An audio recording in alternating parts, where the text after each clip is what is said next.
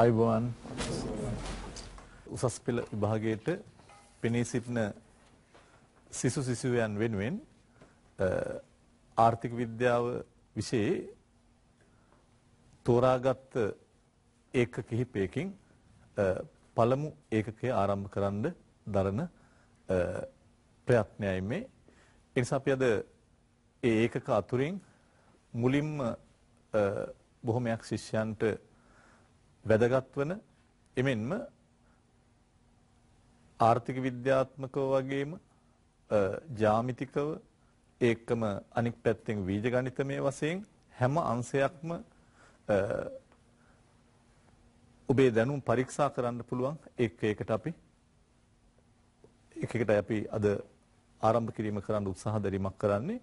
ඒ තමා නිෂ්පාදන හැකියා ආදර්ශය එමෙතන නිෂ්පාදන හැකියා මයින් වක්‍ර එමෙතන නිෂ්පාදන හැකියා පර්යන්ත ඉතින් මේ ඒකේ මම වැදගත් කියලා කිව්වේ ඔබේ ආර්ථික විද්‍යා දැනුම මේ හරහා පරීක්ෂා කිරීමක් කරන්න පුළුවන්. ඒ වගේම ආර්ථික විද්‍යාවට ප්‍රස්තාරික සම්බන්ධතාවයන් කොහොමද එකතු වෙන්නේ? ආර්ථික විද්‍යාවට වීජ ගණිතමය කොටස් වන ආකාරයෙන්ද සම්බන්ධ වෙන්නේ කියන හැම කොටසක්ම මේකේ හරහා නියෝජනයක් වෙයි. අපි මුලින්ම නිෂ්පාදන හැකියා මායිම එනතන් ආදර්ශය කියන ඒකය තුල තියෙන මුල්ම ඒකයක් පිළිබඳ කතා කරලා අපි පාඩමේ ඉතුරු කොටස් වලට යමු. අපි ඉස්සෙල්ලාම එන්නේ නිෂ්පාදන හැකියාව කියන කොටසට. නිෂ්පාදන හැකියාව තව නමක් කියන්න මේකට නිෂ්පාදන ශක්්‍යතාව තව නමක් විභව නිමැවුම. එමනම් නිෂ්පාදන හැකියාව එමෙතන විභව නිමැවුම එමෙතන නිෂ්පාදන ශක්්‍යතාව කියලා අපි කිව්වොත් අපි නිර්වචනාත්මක සම්බන්ධයකට එන්න ඉස්සරලා ප්‍රායෝගික පැත්තෙන් ඇවිත් අපි නිෂ්පාදන හැකියාව හඳුන්වන්න උත්සාහ දැරීමක් කරමු. මට කියන්න මේ වසරේ අපි හිතමු 2011 මේ වසරේ ශ්‍රී ලංකාවේ විනිෂ්පාදන හැකියාව විනිෂ්පාදන ශක්්‍යතාව තීරණය කරන සාධක මොනවද කියලා අපි කතා කරන්න ගියොත් මොනවද මේ වසරේ විනිෂ්පාදන හැකියාව තීන්දුව කරන ප්‍රධාන සාධක? ඔව් මේ අවුරුද්ද තුල ශ්‍රී ලංකාවේ කොච්චර කුඹුරු ප්‍රමාණයක් තියෙනවද? කොහොමදයි? ගොවින්. ඔව් මේ වසර තුල විනිෂ්පාදනයට සම්බන්ධ වෙන ගොවීන් කොච්චර ප්‍රමාණයක් ශ්‍රී ලංකාව තුල ඉන්නවද? මට කියන්න කුඹුරු ප්‍රමාණය කිව්වේ ප්‍රාග්ධනයේද ප්‍රාග්ධන සාධකයක් කුඹුරක් කියන්නේ ප්‍රාග්ධනය. ගොවීන් කිව්වොත් ශ්‍රමය. එතකොට තව සාධකයක් ගත්තොත් උදළු වගේ දේවල් ඒත් ප්‍රාග්ධන භාණ්ඩයක්. ඔව්. ඔව් විනිෂ්පාදනයේට භාවිතා කරන ගවයින් ඒකත් ප්‍රාග්ධන භාණ්ඩයක්.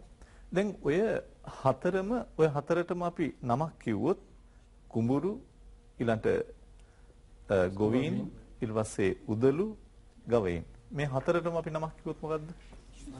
නිෂ්පාදන සාධක ප්‍රමාණය. කොච්චර මේ වසර තුල නිෂ්පාදන සාධක ප්‍රමාණයක් ශ්‍රී ලංකාවේ විනිෂ්පාදනයට අදාළ සාධක ප්‍රමාණයක් තියෙනවද?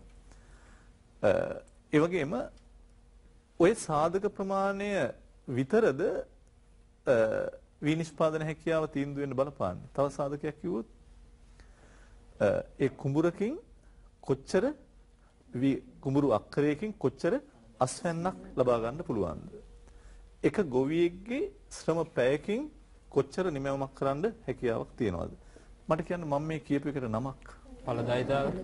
ඔව් මම කිව්වා කුඹුරු අක්කරයකින් කොච්චර අස්වැන්නක් ගන්න පුළුවන්ද? එක ශ්‍රමිකයෙක්ගෙන් කොච්චර නිමැවුමක් ගන්න පුළුවන්ද?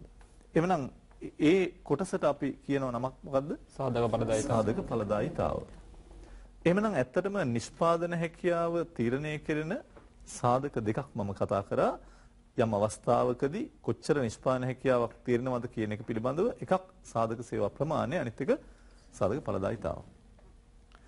එහෙමනම් මුලින්ම අපි දැන් යම් උත්තරයකට ආවා ආර්ථිකයක යම් අවස්ථාවක නිෂ්පාදන හැකියාව නොහොත් ශක්්‍යතාව තීන්දුව වෙන කාරණා දෙකක් තියෙනවා මොකක්ද දෙකක් නිෂ්පාදන සාධක සේවා ප්‍රමාණය සාධක ඵලදායිතාව. එහෙනම් මේ ඔක්කොම අපි කියනවා සම්පත් සම්භාරය. හොඳයි. ඒතර අපි එහෙමනම් සමස්ත ආර්ථිකයක යම් අවස්ථාවක නිෂ්පාදන හැකියාව හඳුන්වනකොට විභව නිමැවුම හඳුන්වනකොට කාරණා කීපයක් සැලකිලට ගන්න වෙනවා අපට. එකක් යම් අවස්ථාවක් කියන එක. ඒ කිව්වේ යම් කාලයක්. ඒ වගේම සම්පත් ප්‍රමාණයක් ගැන කතා කරනවා. ඒ වගේම ඒ සාධක සාධක ප්‍රමාණයක් ඒ සාධකවල තියෙන ඵලදාවක් ගැන කතා කරනවා. ඒ වගේම අපි දන්නවා කිසියම් නිෂ්පාදන කටයුත්තක් කරද්දී ඒ නිෂ්පාදන කටයුත්ත සඳහා භාවිතා කරන ක්‍රමවේදයක් තියෙනවා. පුළුවන්ද කියන්න මේකට වචනයක්? තාක්ෂණය තාක්ෂණය බොහොම හොඳයි. ක්‍රම ශිල්ප. ඒ නිසා අපි මේ සියල්ල සංයෝග කරලා අපි නිෂ්පාදන හැකියාව කියන්නේ මොකක්ද කියන එක කතා කිරීමක් කරොත් ඔබට පේනවා ඇති මේ තිරේ නිෂ්පාදන හැකියාව කියන්නේ යම් කියමු දෙන ලද අවස්ථාවක රටක් සතු සියලු සම්පත් උපරිම කාර්යක්ෂමතාවයෙන් යුතුව දෙන ලද තාක්ෂණ මට්ටමක් යටතේ භාවිතා කිරීමෙන් ලබාගත හැකි නිමැවුම් මට්ටමයි. හැබැයි මේ නිර්වචනය තුල තව දෙයක් තියෙනවා. අපි කතා කරේ නිෂ්පාදන හැකියාව තීරණය වෙන ප්‍රධාන කාරණා ටිකනේ. ඒතර ආර්ථිකයක නිෂ්පාදන හැකියාව කියලා කියන්නේ නිපදව දැන් පවතින සම්පත් සියල්ල පාවිච්චි කරොත් ඒක වැදගත් වෙනවා. පවතින සම්පත් සියල්ල පාවිච්චි කරොත් සහ ඒවා උපරිම ඵලදායෙන් පාවිච්චි කරොත් මෙයා කියපු කුඹුරු සියල්ලම පාවිච්චි කරන්න ඕනේ අපි මේ කියන හැකියාව සලකා බලන්න. මෙයා කියන සියලු ගොවීන් නිෂ්පාදනයේ ශ්‍රම යොදන්න ඕනේ.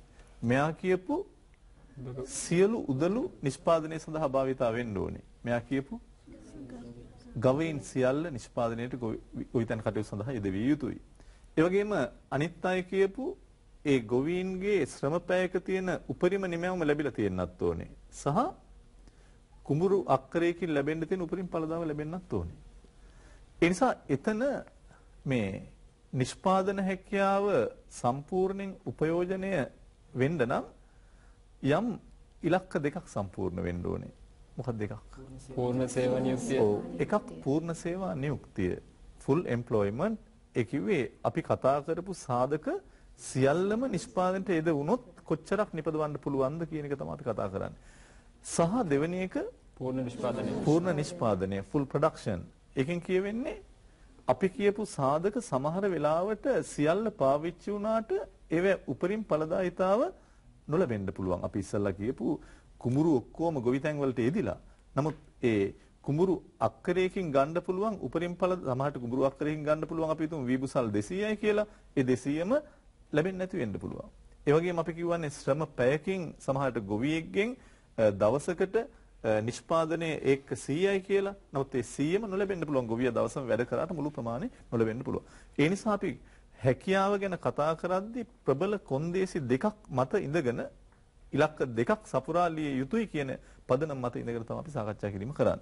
මොනවද ඉලක්ක දෙක? එතකොට ඒ සාධක සියල්ලම නිෂ්පාදනයට යෙදෙන්නත් ඕනේ. ඒකට අපි කියනවා පූර්ණ සේවා නියුක්තිය. දෙවෙනි කාරණේ ඒ සාධක වලින් උපරිම ඵලදාවක් ලැබෙන්නත් ඕනේ. උපරිම ඵලදාවට අපි සමහර විට තව වචනයක් කියලා මොකද්ද? කාර්යක්ෂමතාවය. එතකොට මෙන්න මේ කාරණා සියල්ල පදනම් කරගෙන තමයි මේ නිර්වචනය සකස් කරලා තියෙන්නේ. යම් දෙන ලද අවස්ථාවක රටක් සතු සියලු සම්පත් උපරිම කාර්යක්ෂමතාවය යුතුව. දැන් බලන්න එතන දෙන ලද අවස්ථාව කියන එක වැදගත්. සියලු සම්පත් යොදා ගන්නවා කියන එක වැදගත්. උපරිම කාර්යක්ෂමතාව නොහොත් ඵලදායිතාව කියන එක වැදගත්. ඒ වගේම පවතින තාක්ෂණ මට්ටමක් කියන එකත් ගොඩක් වැදගත්. ඒ යටතේ ලබාගත හැකි නිමැවුම් මට්ටම. මට උත්තරයක් දෙන්න. ඔය අපි කතා කරේ සියලු සම්පත් උපරිම කාර්යක්ෂමතාවයෙන් නිෂ්පාදනයේට පවතින තාක්ෂණයට නිෂ්පාදනයට යෙදුවොත් ගත හැකි නිමැවුම. විභව නිමැවුම.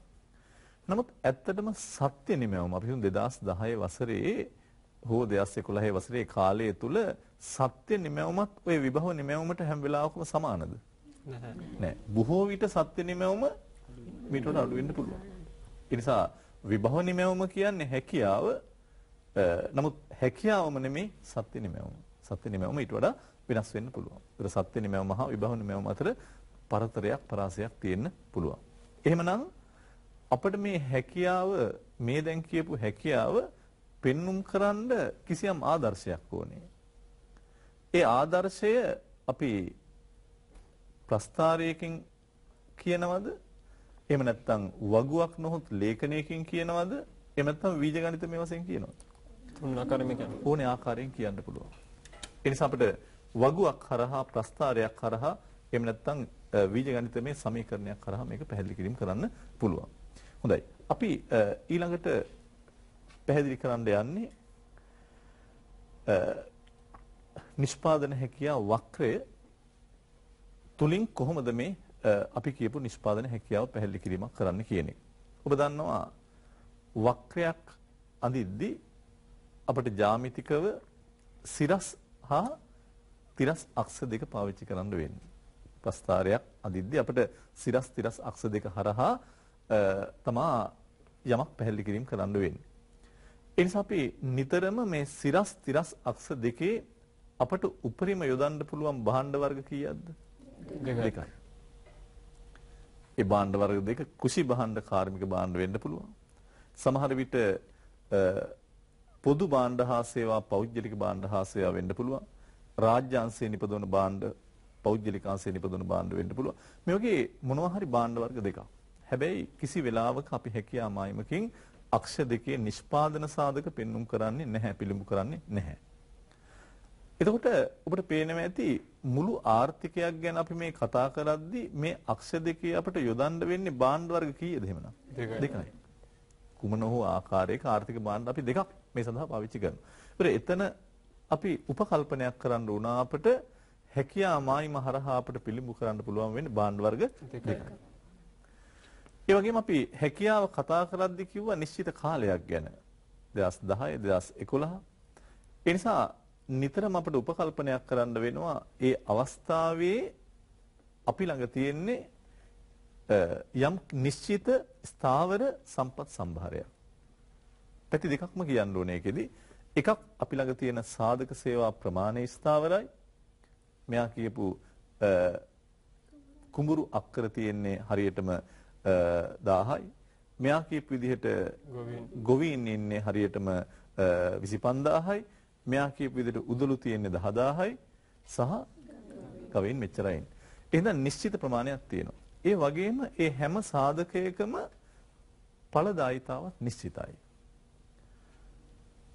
කුඹුරු අක්කරයකින් නිශ්චිත ඵලදාවක් තියෙනවා. අක්කරයකින් විබුසල් 200යි තමයි නිශ්චිත ඵලදාව. ගොවියෙක්ගෙන් ශ්‍රම පැයකින් විබුසල් 50ක් නිපදවන්න පුළුවන්. මේ ඵලදාවක් තියෙනවා. ඉතින් අපි උපකල්පනයක් කරනවා මේ නිශ්චිත අවස්ථාව තුළ අපි ළඟ තියෙන්නේ මේ සාධක ටික විතරයි.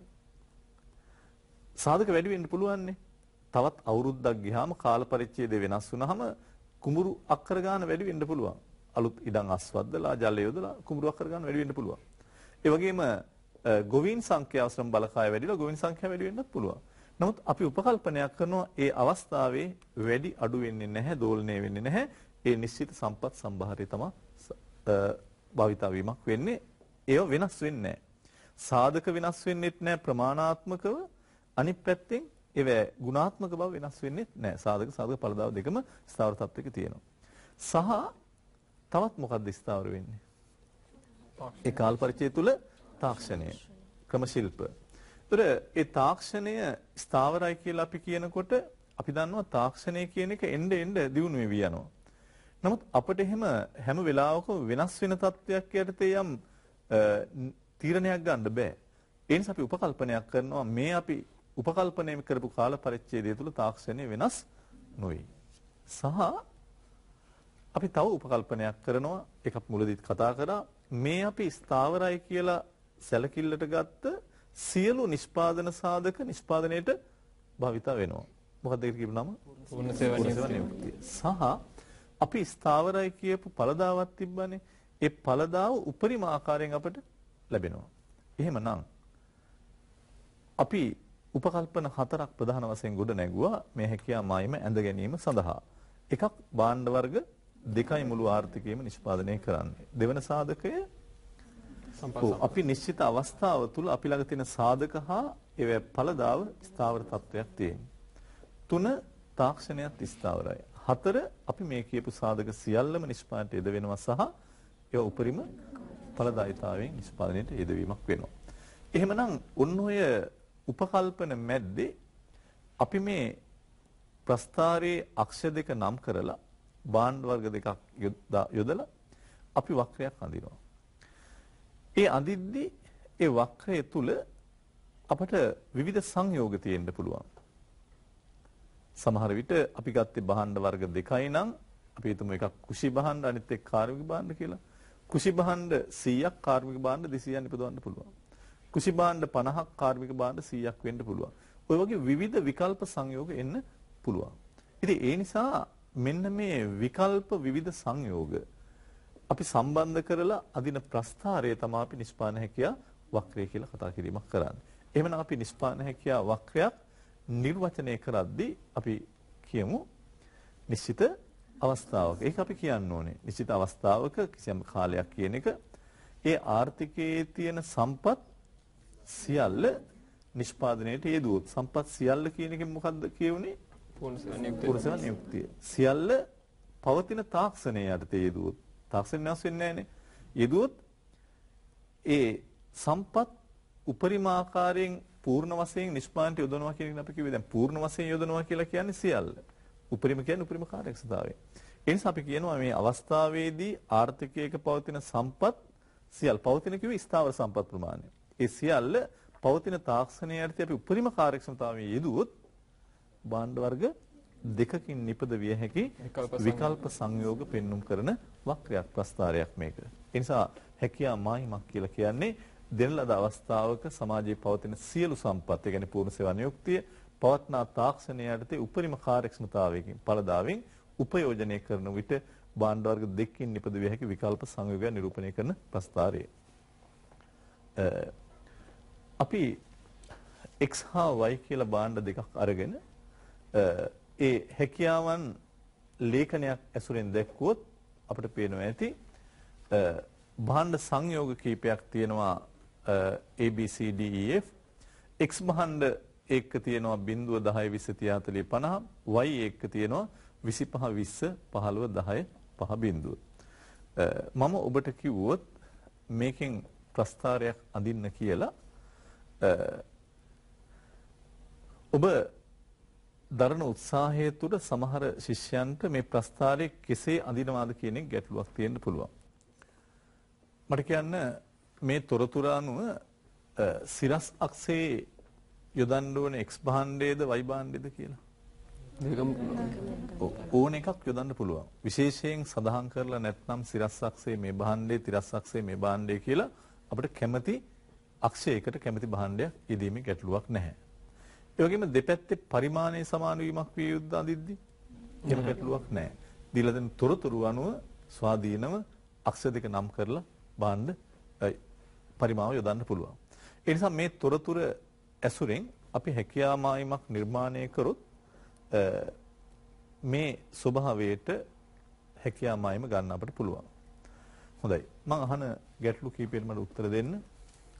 මේ ආර්ථිකයේට x හා y කියන භාණ්ඩ වර්ග දෙක නිපදවන ආර්ථිකයට සියලු සම්පත් පූර්ණ වශයෙන් නිෂ්පාදනයට යෙදුවොත් y භාණ්ඩ 25ක් සහ x භාණ්ඩ 50ක් එකවර නිෂ්පාදනය කිරීමේ හැකියාවක් තියෙනවද? නැහැ. උත්තරේ නැහැ. y භාණ්ඩ 25ක් සහ බිඳුවක් නිෂ්පාදනය කිරීමේ හැකියාවක් තියෙනවද? ඔව්. ඒකෙන් මම කියන්නේ සියලු සම්පත් මට කියන්න වයි නිෂ්පාදනයට යෙදුවොත් කීයක් නිෂ්පාදනය කරන්න පුළුවන්ද? 25ක් 25ක්. සියලු සම්පත් X නිෂ්පාදනයට යෙදුවොත් කීයක් පුළුවන්ද? 50ක්.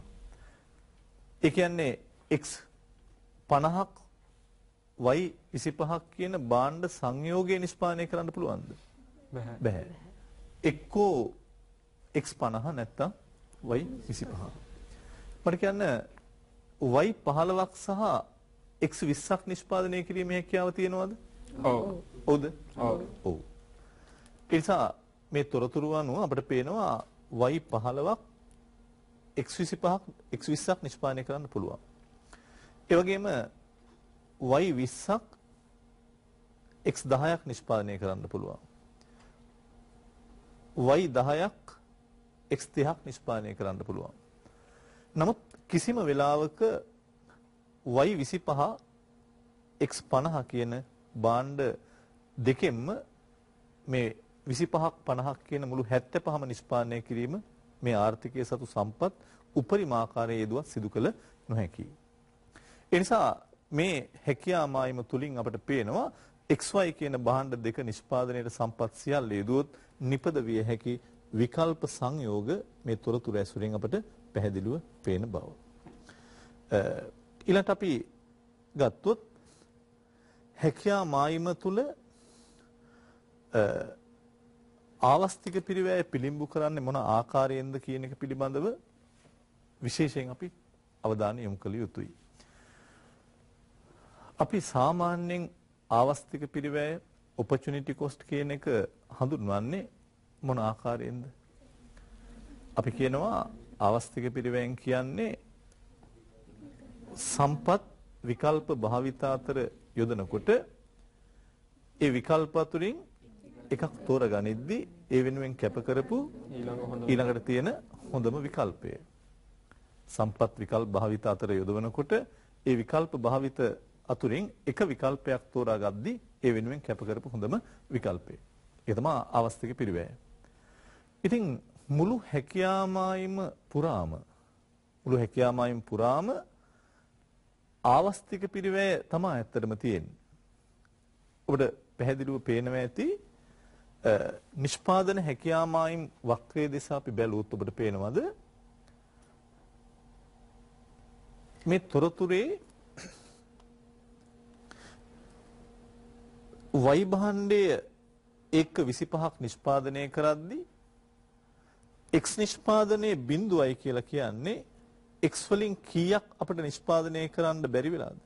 50 x එක 50 ඒ නිසා y 25ක ආවස්තික පිරිවැය x 50යි ඒ වගේම අපි x භාණ්ඩයෙන් ඒක 50ක් නිෂ්පාදනය කරනවා කියන්නේ y නිෂ්පාදනයේ බිඳුවයි. ඒ කියන්නේ y වලින් කොච්චරක් අපිට නිෂ්පාදනය කරන්න බැරි වෙලා තියෙනවද? 25 ඒ නිසා x 50ක ආවස්තික පිරිවැය y 25යි හොඳයි. මට කියන්න අපි y නිෂ්පාදනයේ ටිකෙන් ටික මෙහෙම වැඩි කරගෙන වැඩි කරගෙන යනකොට x නිෂ්පාදනයේ ටිකෙන් ටික මොකද්ද කරන්න වෙන්නේ? අඩු කරන්න වෙනවා. කොහොම අඩු කරන්න වෙනවා. අඩු කරද්දී අපි y 25ම නිපදවද්දී අපේ x නිෂ්පාදනයේ බිඳුවයි. ඒක පැත්තක්. ඒ වගේම x නිෂ්පාදනයේ ටිකෙන් ටික වැඩි කරගෙන යනකොට අපිට y නිෂ්පාදනයේ ටිකෙන් ටික අඩු කරගෙන යන්න වෙනවා. එහෙම අඩු කරද්දී x 50ක්ම නිෂ්පාදනය කරද්දී y නිෂ්පාදනයේ බිඳුව වෙනවා. ඒ නිසා අපිට පේනවා ඇති හැකියා මායිම දිගේ ඉහළට පහළට ගමන් කරද්දී හැම වෙලාවකදීම එක භාණ්ඩයක නිෂ්පාදනය සුළු ප්‍රමාණයක් හෝ වැඩි කරද්දී අනිකෙන් සුළු ප්‍රමාණයක් හෝ කැපකිරීමක් කරන්න වෙනවා.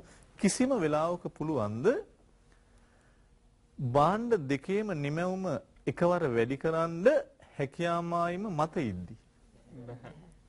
හැකියාමායිම මත ඉද්දි භාණ්ඩ දෙකේම නිෂ්පාදනයේ එකම විට වැඩි කරන්න පුළුවන්. බෑ. ඒ කියන්නේ හේතුව සම්පත් නිෂ්පාදනය. දැනටත් සියලු සම්පත් පූර්ණ වශයෙන් උපයෝජනය වෙලා ඉවරයි. තවත් අපි ළඟ සම්පත් නැහැ.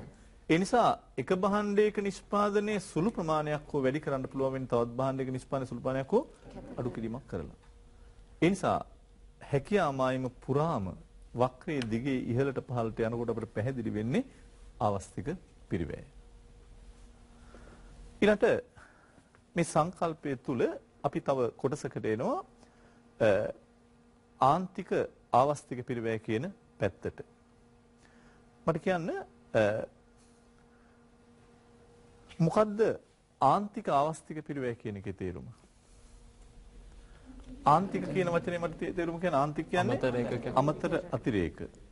තවත් ඒකකයක් නිෂ්පාදනය කරද්දී අමතරව කොච්චර පිරිවැයක් දරන්න ඕනේද? භාණ්ඩ දෙකයි තියෙන්නේ.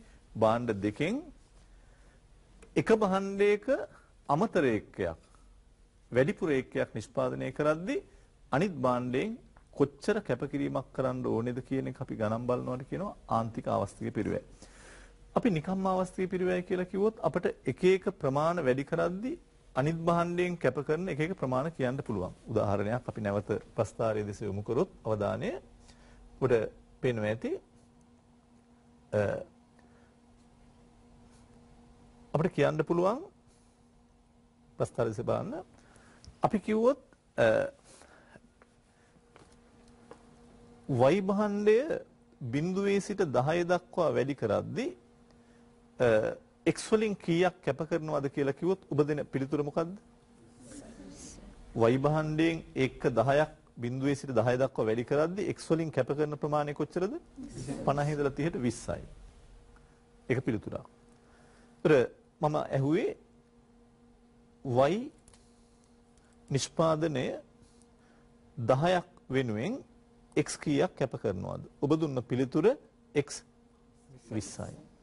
මම ඔබෙන් ඇහුවොත් y නිෂ්පාදනය 1.25 දී x වලින් කීයක් කැප කරන්න වෙනවද කියලා ඔබ දෙන උත්තරේ 50යි. මෙතන මං කතා කරේ එක භාණ්ඩයක නිෂ්පාදනයේ විවිධ ප්‍රමාණ වලින් වැඩි කරද්දී අනික් භාණ්ඩයෙන් කොච්චර ප්‍රමාණයක් කැප කරනවද කියන එක. එතන ආන්තික අවස්ථි පිරිවැයක් නෙමෙයි කතා කරේ. එතන තනි ඒක එක අවස්ථි පිරිවැයක් බැලුවේ නැහැ. ඒ නිසා තැන් තැන් වල ආවස්තික පිරුවේ වෙනස්. y 10 දී x 20යි y 25 දී x 50යි. මේ ආන්තික අවස්තික පිරුවේ නෙවෙයි. ආන්තික අවස්තික පිරුවේ කියන්නේ තවත් ඒකකයකින් නිමවම වැඩි කරද්දී අනික් භාණ්ඩයෙන් කොච්චර කැපකිරීමක් කරනවාද කියන එක. එහෙමනම් මට කියන්න y 10ක් වැඩි කරද්දී මේ අවස්ථාව y 10ක් වැඩි කරද්දී x වලින් 20ක් කැප කරනවා නම් එකකට කීයක්ද වෙන්නේ? දෙකයි. අනිත් අවස්ථාව y 25ක් නිෂ්පාදනය කරද්දී x වලින් 50ක් කැප කරනවා නම් එකට කීයද? දෙකයි. ඒක ස්ථාවර තත්වයක් තියනවද? ඔව් වෙනස් වෙන්නේ. හොඳයි. මේ සරල රේඛාවක් නිසා. එහෙනම් මතක තියාගත යුත්තේ විභාගයේදී ඔබෙන් අහන්නේ ආන්තික ආවස්තික පිරිවැයද එහෙම නැතුව යම් ප්‍රමාණයක ආවස්තික පිරිවැයද කියන එක පිළිබඳව ඔබ අවබෝධයක් ලබාගත යුතුයි. ඒ නිසා මේ දෙපැත්තම විභාග ගැටළු වල ඕන තරම් දීලා තියෙනවා. අපි විභාගෙදී අහලා තියෙන එක ගැටලුවකට ගියොත් ඔබට පෙනෙයි. එක තැනක අහනවා ප්‍රශ්නයක් අපිට දෙනවා තොරතුරක් ලේඛනයක් විදිහට ඒ ලේඛනයක් විදිහට දීලා මේ තොරතුරු බලන්න කුරක්කම් බඩේරිකු මේ විභාග ප්‍රශ්නයක්. ඒතර මේකේ කියනවා දැනට කුරක්කම් බුසල් 20ක් හා බඩේරිකු බුසල් 42ක් නිෂ්පාදනය කරමින් සිටින මේ ගොවියා කුරක්කම් බුසල් 20ක් බඩේරිකු බුසල් 42ක් නිෂ්පාදනය කරමින් ඉන්න මේ ගොවියා 20ක් හා 42ක් ඊළඟට අපිට කියනවා වැඩිපුර කුරක්කම් බුසල් 10ක් නිෂ්පාදනය කරන්න තීරණය කරනු ලැබුත් අවස්ථේ පිරිවේ වැඩිපුර කුරක් කම්බුසල් 10ක් කියන්නේ 20 ඉඳලා 30 දක්වා වැඩි වෙන්න ඕනේ වැඩිපුර 10ක් නිෂ්පාදනය කරද්දී. ඒ වෙනුවෙන් මෙතනින් කැප කරන්න වෙනවා 14ක්. 42 ඉඳලා 28ට 14යි. එතෙන්දී ඔබ දන්නවා 10 ඉඳලා දැන් අපේ ප්‍රශ්නය අහන්නේ තීරණය කරන ලැබුත් එහි අවස්ථේ පිළිවෙල වනුයේ. සමහර ශිෂ්‍යයන්ට හිතෙන්න පුළුවන් ආවස්තික පිරිවැය 14යි. තව ශිෂ්‍යයෙක් කියන්න පුළුවන් 10ක් වැඩි කරද්දී 14ක් අඩු වෙනවා නම් 1ට 1.4යි කියලා. ඒතර මේ 1.4 කියන්නේ මොන අවස්තික පිරිවැයද? ආන්තික අවස්තික. බොහොම හොඳයි. ආන්තික අවස්තික පිරිවැය. ප්‍රශ්නේ අහන්නේ ඒ ආන්තික අවස්තික පිරිවැයද එහෙම නැත්නම් මේ වැඩි කරන බුසල් ප්‍රමාණයේ ආවස්තික පිරිවැය කොච්චරද කියන එකද?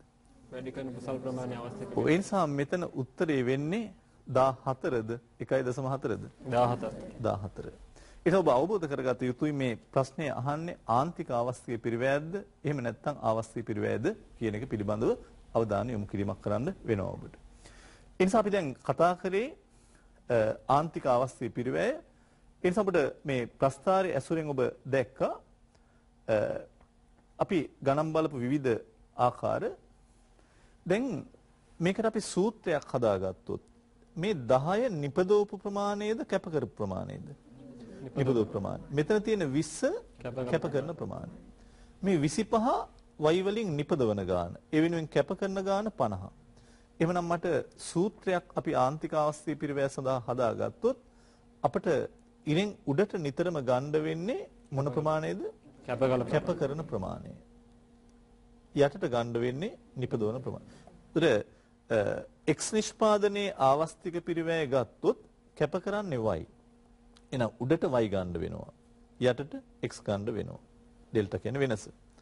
ඒ වගේම y නිෂ්පාදනයේ ආවස්තික පිරිවැය ගත්තොත් මේ අපි ගත්තේ x වල ආවස්තික පිරිවැය y වල ආවස්තික පිරිවැය ගත්තොත් ඩෙල්ටා x බෙදීම ඩෙල්ටා y ස්වභාවයෙන් අපිට ගන්න වෙන්නේ. හොඳයි. ඒතර අපි ආන්තික ආවස්තික පිරිවැය හා ආවස්තික පිරිවැය සංකල්ප අතර පැහැදිලි කිරීමක් එතෙන්දී කරේ. අපි ඊළඟ කතා කළ යුත්තේ නිෂ්පාදන හැකියා මායිමේ ස්වභාවය බෑවුම පිළිබඳව මොකක්ද කියන එක. හොඳයි. මට පිළිතුරක් දෙන්න සාමාන්‍යයෙන් අපි මේ වගේ රේඛාවක බෑවුම හොයද්දී පොදු සම්මත සමීකරණයක් විදිහට අපි ගන්නෙ මොකද්ද? සිරස් අක්ෂය දුර බෙදීම. හොඳයි. අපි ගන්නවා සිරස් දුර බෙදීම සිරස් දුර. සිරස් තිරස්. හොඳයි. මේ දීලා තියෙන තොරතුරු අනුව අපි ගත්තොත් සිරස් දුර ඩෙල්ටා කියන්න. Delta y. තිරස් දුර ඩෙල්ටා x.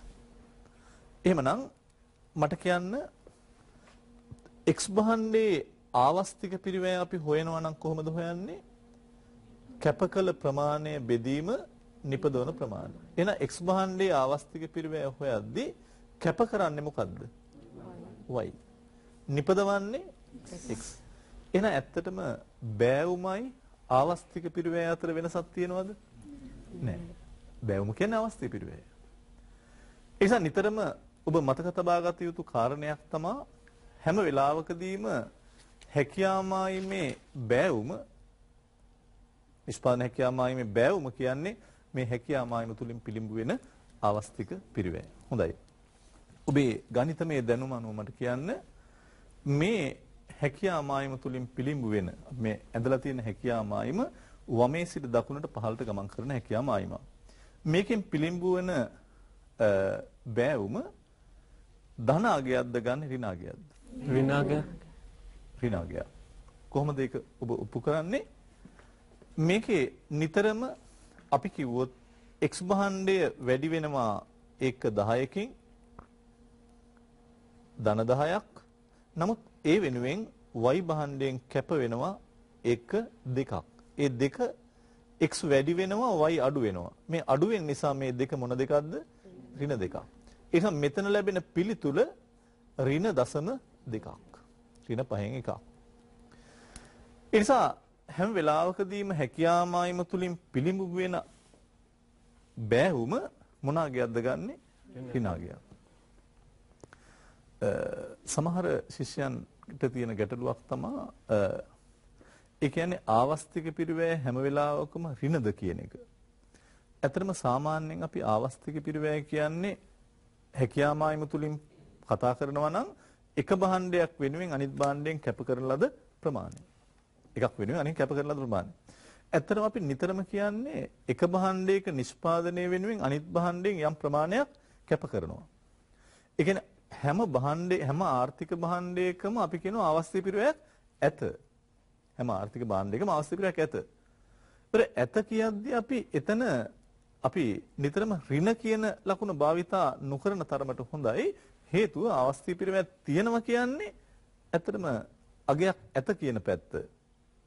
ධනාත්මක පැත්ත. එහෙනම් අපි බෑවුම තමයි ඍණ කියන්නේ අවස්ථී පිරිවැය කතා කරද්දී අපි ඍණ අවස්ථී පිරිවැය කියන වචනේ භාවිතා නොකර ඉන්න තරමට ගොඩක් හොඳයි.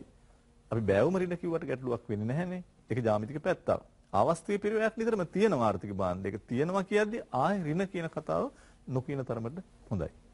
හොඳයි. ඊළඟට අපි බෑවුම මොකද්ද? ආවස්තික පිරිවැය මොකද්ද කියන එක කතා කිරීමක් කරා.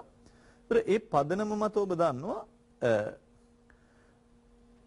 සිරස් දුර දිරස් දුරෙන් බෙදුවහම එන බෑවුම අනුව අපිට හැකියා මායිමක ස්වරූපයන් තුනක් හැඩතල තුනක් කතා කරන්න පුළුවන්. අ, අපි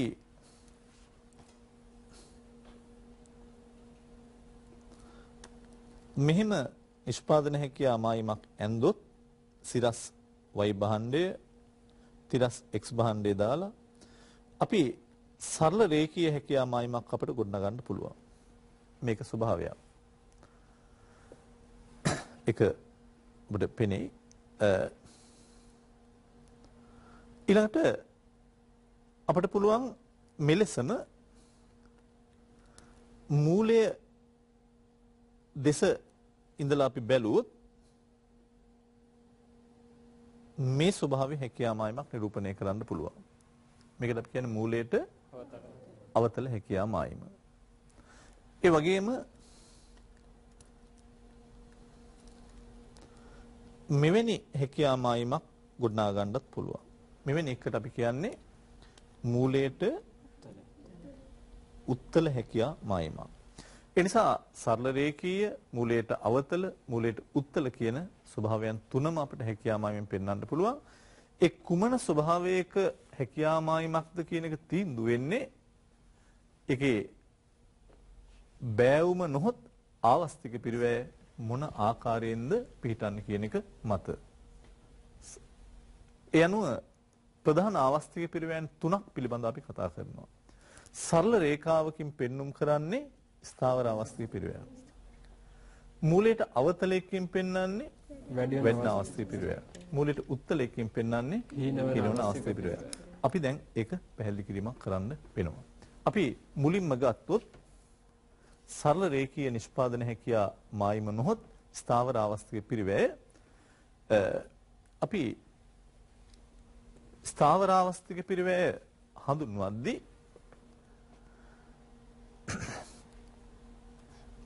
උඩ පේනවා ඇති අ, මේ සරල රේඛාව මේ සරල රේඛාවේ ක්‍රම දෙකකට අපිට පුළුවන් ස්ථාවර අවස්ථා පිරිවෙ හඳුන්වන්න. අපි මෙහෙම බලමු. අ, y භාණ්ඩය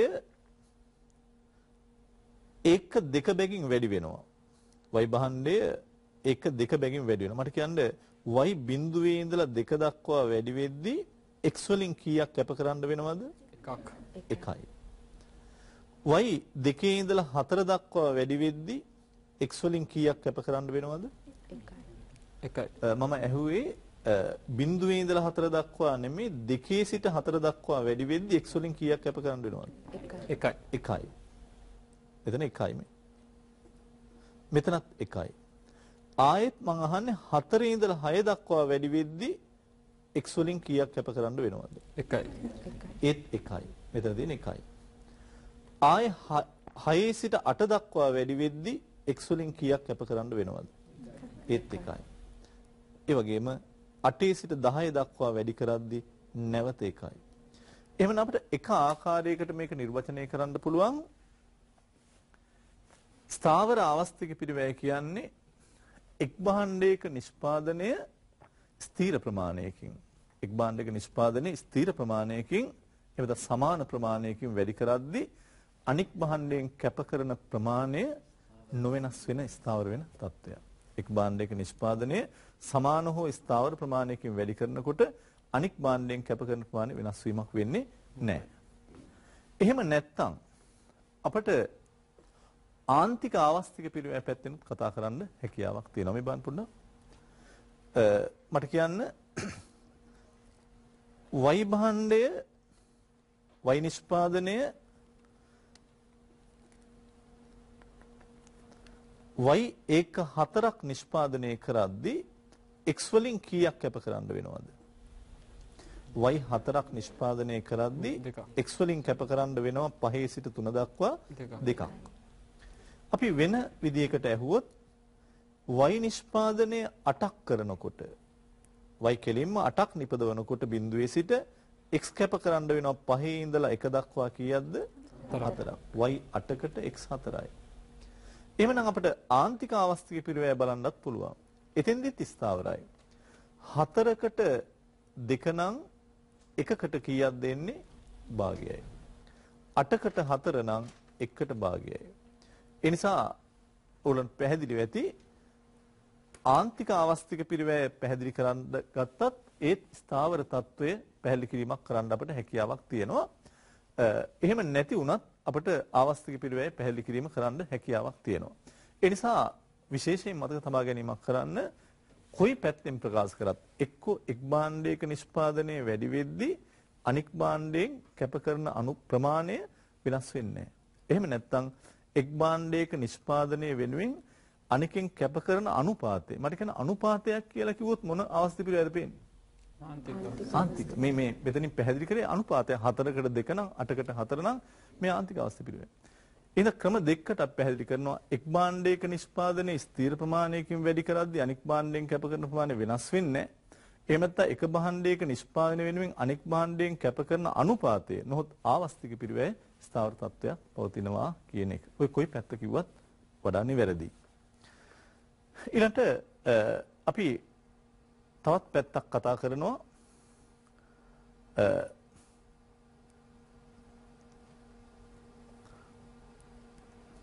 වැඩිවන ආවස්තික පිරිවැය සහිත මූලයට අවතල නිෂ්පාදන හැකියාව මායිම.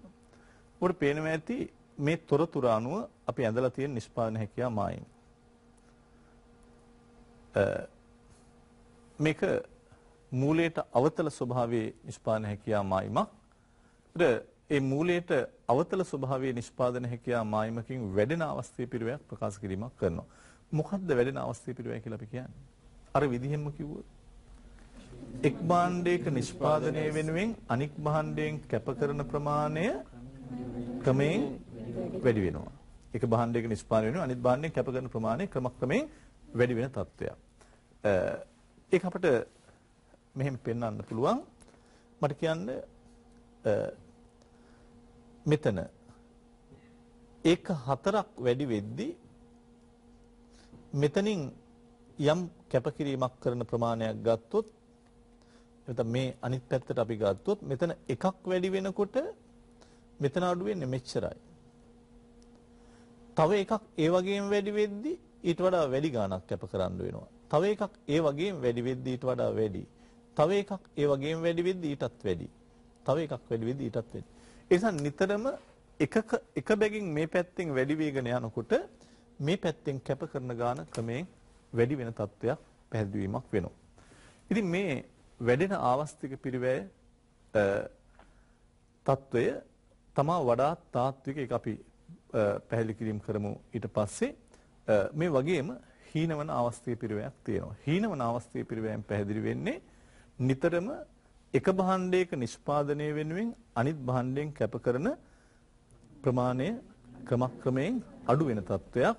එමෙත එක භාණ්ඩයක් වෙනුවෙන් අනිත් භාණ්ඩයෙන් කැප කරන අනුපාතය ක්‍රමයෙන් අඩු වෙන තත්වයක්. හොඳයි. අපි මේ ආවස්තිපිරි අවස්ථා තුන පිළිබඳව අද සාකච්ඡා කිරීමක් කරේ.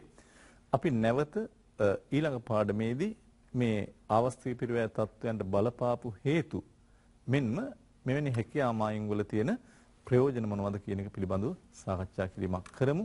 අදට අපි පන්තිය මෙතනින් නිමා කරන්න ලෑස්ති වෙනවා. බොහොම ස්තුතියි.